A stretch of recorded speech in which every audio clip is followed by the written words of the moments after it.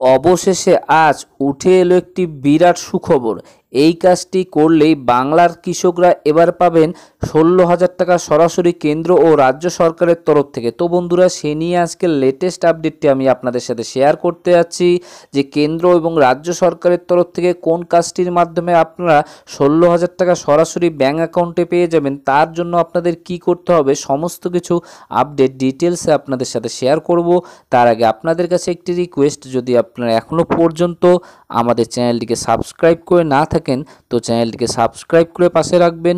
ভিডিওটি ইনফরমেটিভ মনে হলে অবশ্যই প্রচুর লাইক শেয়ার করতে ভুলবেন না।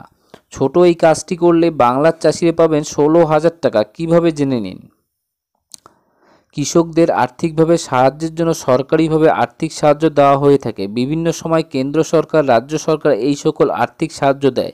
সেই সকল আর্থিক সাহায্যে চাষিদের নানান কাজে আসে এবং তারা চাষের প্রতি আরও আগ্রহ প্রকাশ করে থাকেন। ঠিক সেই রকমই পশ্চিমবঙ্গের যে সকল চাষি রয়েছেন, তারা বছরে ষোলো হাজার টাকা পেতে পারেন ছোট্ট একটি কাজ করলেই।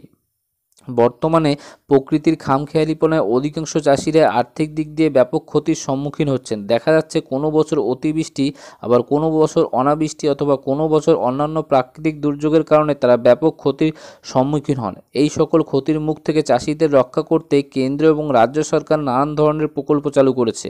কেন্দ্র এবং রাজ্য সরকারের সেই সকল প্রকল্পের মাধ্যমে পশ্চিমবঙ্গের চাষিরা বছরে ষোলো হাজার টাকা পেতে পারেন।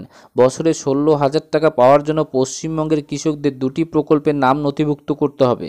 প্রথম প্রকল্পটি হলো পশ্চিমবঙ্গ রাজ্য সরকারের কৃষক বন্ধু এবং দ্বিতীয় প্রকল্পটি হলো কেন্দ্র সরকারের প্রধানমন্ত্রী কিষাণ সম্মান নিধি যোজনা। প্রধানমন্ত্রী কিষাণ সম্মান নিধি যোজনার মধ্য দিয়ে দেশের কৃষকরা প্রতি বছর তিনটি কিস্তিতে দু হাজার করে ছ টাকা মোট পেয়ে থাকেন। পশ্চিমবঙ্গের যে সকল কৃষকরা এই প্রকল্পের আওতায় নাম নথিভুক্ত করেছেন, তারাও এই টাকা পান। অন্যদিকে পশ্চিমবঙ্গ সরকারের কৃষক বন্ধু প্রকল্পের আওতায় যাদের নাম রয়েছে, তারা প্রতি বছর দশ হাজার টাকা পর্যন্ত আর্থিক সাহায্য পেয়ে থাকেন। এক্ষেত্রে কোনো কৃষক যদি দুটি প্রকল্পে নাম নথিভুক্ত করাতে পারেন, তাহলে তিনি বছরে ষোলো হাজার টাকা পর্যন্ত আর্থিক সাহায্য পেয়ে যাবেন।